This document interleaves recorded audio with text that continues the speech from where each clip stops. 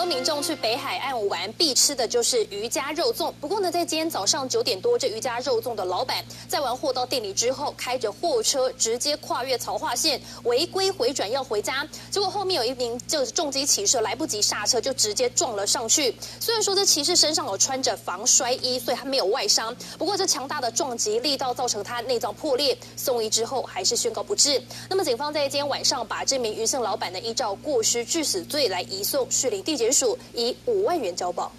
这疑似是车速过快，他在鹿港复兴路口过弯的时候滑倒了，结果呢他又帅气的站了起来。那么在这个摔的过程当中，衣服还掀起来，幸好人是平安无事。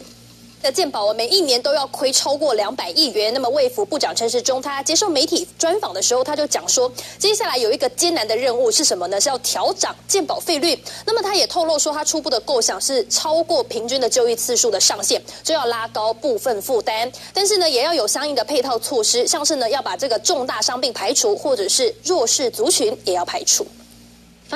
好，截至到十七号为止，俄罗斯累计已经超过二十八万人确诊，染疫人数是全球第二高。秘鲁籍的俄超球员呢，法尔范他也确诊了武汉肺炎，成为第一位俄超联赛的确诊球员。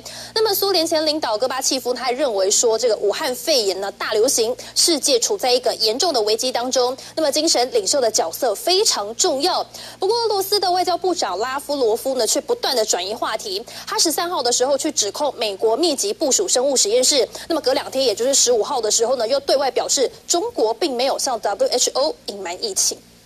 好，不过这场疫情哦，确实冲击各国的经济。来看到意大利这一名薄饼店的老板，因为没有办法负担连日的亏损，他只好关门。而且呢，他还用大铁锤亲手砸烂自己的店。这影片分享到脸书上面，这网友看了真的是边看边觉得很无力。另外，在菲律宾马尼拉的购物商场呢，经过两个月的防疫，终于重新开放。但是呢，为了避免这民众在这边逗留太久，他们也使出很多妙计，像是把这个冷气的温度调高啊，而且还把这商场里面的免费 WiFi 给。关掉，希望可以阻止疫情再度扩散。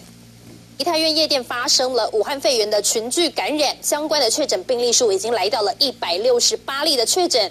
当局就说，这个群聚感染的是交叉感染的病例都增加，而且还出现了两例是第四代感染，都源自于一家卡拉 OK 店。那么，另外在新加坡呢，在十七号也暴增将近七百例，其中有四个人哦，他是新加坡公民或者是永久居民，那么其他全部都是外国移工。那么之前有传出一个网络谣言，他说呢，这五 G 讯号是有助于武汉。肺炎的传播被证实根本就是胡说八道。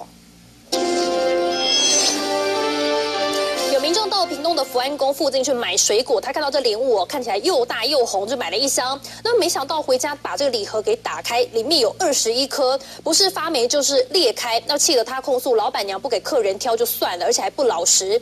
不过业者就说，这坏掉的水果都是送的，礼盒也是在客人面前装箱。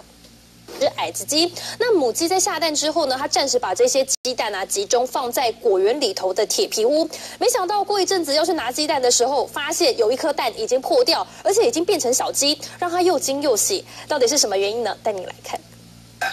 好，台中的经营商圈现在出现了一个点点怪客。这个有一个女大生，她就在网络上面发文说呢，她最近就发现她的鞋子被人家画上一个奇怪的黑点点做记号，就提醒网友注意。那没想到住在她附近有一些女网友也热烈回应说，发现自己的鞋子居然出现了相同的记号，引发了热烈的讨论。他们还互相提醒哦，希望大家要注意安全。结果呢，就有网友非常的热心，他用摩斯电码去翻译这点点的意思，居然是打招呼的意思。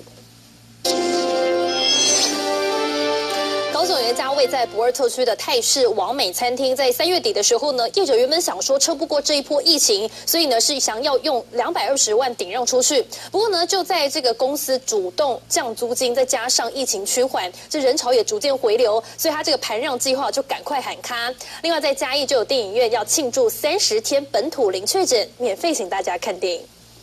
日本的喜剧天王志村健在三月二十九号因为武汉肺炎病逝。那么他生前乘坐的超高级豪华房车劳斯莱斯呢，最近就被家属卖出，有一名男粉丝买下。那么这卖车的所得就拿来支付志村健有三名助理的遣散费，传为佳话。我们连线给记者李雨辰。